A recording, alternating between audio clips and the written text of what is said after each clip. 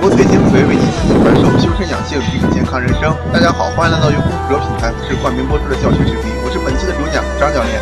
今天呢，给大家带来的是有关这个肩膀的上肢力量强化性训练。如果你有什么问题的话呢，可以联系我们屏幕下方的 QQ 群组做和分组，还可以呢加入我们公主者的官方微信平台，或者呢来到我们公主者的官方网站进行讨论和学习。好了，我们现在开始吧。好，今天呢，我会给大家带来三种俯卧撑，这三种俯卧撑呢都是倒立俯卧撑。倒立俯卧撑呢，对肩膀的力量有一定要求。好，现在请看我做第一种俯卧撑。首先呢，面对着墙，双手间的距离呢不要太大，与肩无关就可以。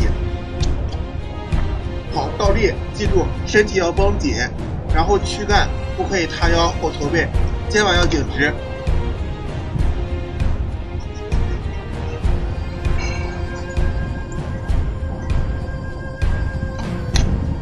因为倒立俯卧撑呢比较费劲儿，所以呢，第一种我们做二十个就可以。现在我们进入第二组。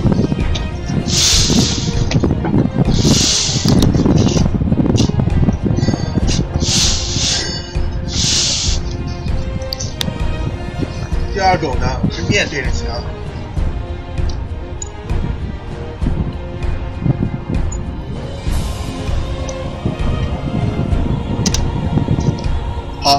这是第二种俯卧撑，我们做了二十个，下面进行第三种俯卧撑。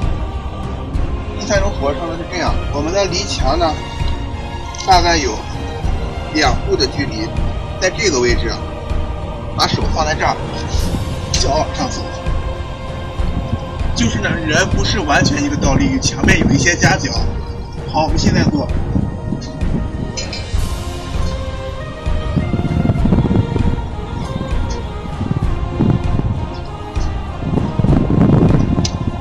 俯卧撑呢，比倒立俯卧撑会更累一些，因为它这个受力会更大。我们做上二十个一组。